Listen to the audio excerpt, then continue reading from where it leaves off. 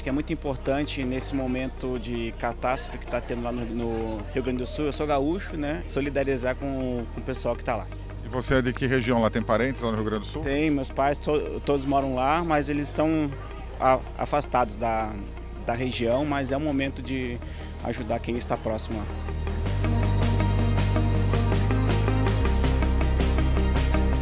Nossa família fez uma arrecadação e aí a gente foi no mercado e comprou. É um momento muito doloroso, né? Mas acho que a gente brasileiro assim é bem unido, né? Então a gente vê pela doação que está chegando.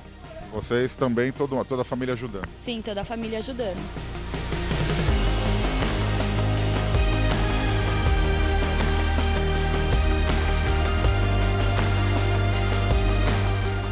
A gente precisa ajudar, né? Essa hora aqui, meu, não tem um a melhor coisa que a gente pode fazer, né? Não tem outra coisa a fazer, né? Se não ajudar as pessoas, né? Isso aí Jesus nos ensinou, né? Ajudar o próximo, é verdade? Você veio com a família aqui para trazer a... com a minha esposa.